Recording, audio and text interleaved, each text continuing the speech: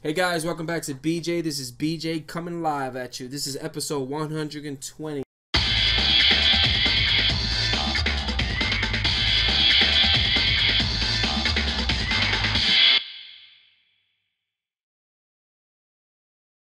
So today's episode guys, I want to show you how three ways to access the Windows 8 boot options menu. Now, believe it or not, uh, the boot option has been consolidated in Windows 8 into a single menu called the boot option menu. Really original with the name. Uh, it provides access to repair tools and options for changing Windows startup behavior such as disabling, I mean enabling the debugging, uh, booting into safe mode, and launching into a recovery environment that Windows 8 has built. Now, the days of pressing the, the function keys or the escape key to interrupt the boot process and get into the BIOS configurations are basically gone within Windows 8. Windows 8 is trying to show their technique and create an environment for us to be more user friendly for us. So I'm going to show you guys three ways into doing this. Now we want to get into the first way is through the PC settings. Now way that you get into PC settings, we're going to do is get into our settings, go to change PC settings, and we want to go into general. And at the very bottom, you want to go into the VAX advanced startup. We're going to do a restart. That bad boy is going to restart. Once it restarts, you're going to get this nice little cool choose an option. Got three options. The one that we want to do is troubleshoot three more options. Uh, I'm going to go to the advanced options because it's going to give you more stuff. And the one that I'm going to do for this episode is basically startup settings. Now, with startup settings, it gives you a rundown of what's going to happen, and you have to restart to get these options. So I'm going to restart and show you guys what's the big deal about it. Now, once it restarts, the machine restarts, you get this nice little GUI. Now, you got 1 through 9 and F10. Believe it or not, to get one of these options, you still have to use the function keys 1 F1 to F9. F10 gives you more options, and you can hit enter to continue. Real simple, right? So, for this, I'm just going to hit enter. I'm just going to go inside my Windows operating system. I don't need to do any troubleshooting, but hey, guys, that's the first option. Now, the second option, once it boots up, I'm going to show you another nifty little trick that Windows 8 has built in, which I think it's pretty cool. So, we're back. So, I'm going to bring this up. Now, one of my episodes in my YouTube channel, you can actually check it out. I actually show you guys how to get that whole Windows screen thing disabled. So, that won't be a problem anymore.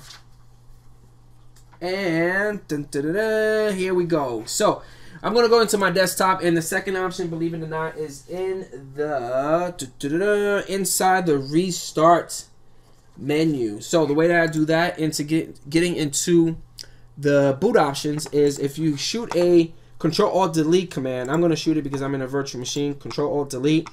You want to go into the shutdown, and within shutdown, you're going to hold the Shift key.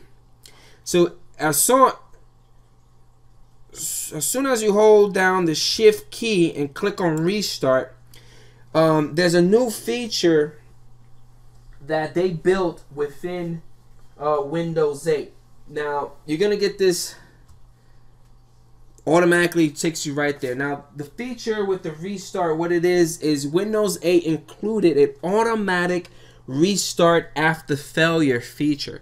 So if you're restarting your machine and you hold down the shift key, it will automatically takes you to this boot option and you basically would do the same thing. You go to troubleshoot, go to advanced settings, startup settings, hit restart, and it will restart for you. Pretty simple, right? Not too hard. Now, the last tip and trick that I would like to show you guys in getting into the uh, boot options within the Windows 8 environment is I am more of a command geek. Kill me, sue me um, I'm going to show you a short command in uh, command prompt uh, that will actually get to you, you know, it actually bring you to this uh, section of the boot option. So let me log in into this machine. Once I'm logged in, I'm going to go to the desktop and, uh, you know, start up a command prompt and I'm going to show you how to use the command prompt to get into the option. So I'm going to, I have my address bar and my taskbar because believe it or not, you can use the address bar to launch stuff up. So the command, believe it or not, is shutdown.exe slash r space slash O. Hit enter. And that's it, guys. Uh, you would get this nice little warning right here. Uh, once you get this little warning, this warning right here is also part of the feature of um, of the automatic restart thing as well. This is also part of it. So it's it's the whole command of the shutdown slash RO is basically it's an unexpected shutdown. Windows 8 has built this feature in so if a if a user or uh, or IT person like holds down the power button, that's an automatic you know unexpected shutdown. It will it will bring this up for you. Uh, again, you go to troubleshoot, basic same things. Go to troubleshoot, advanced options, and startup settings, and restart. Once the machine restarts, you got nine functions that you do. Hit F10 for more options, or hit enter to continue. That's it, guys. Hopefully you enjoyed this episode. Please leave comments below and let me know what you think. If you have any ideas on the Windows 8 stuff that you guys want me to do some research on and do a video, hey, let me uh, let me know. Also, check out my blog. You know, check out my blog and also email me from there or just leave comments below. Uh, at the very top, there is a subscribe button. Hit that subscribe button to get the latest, greatest tips and reviews on hardware and software and also gaming. And I'll catch you guys later. Thank you so much.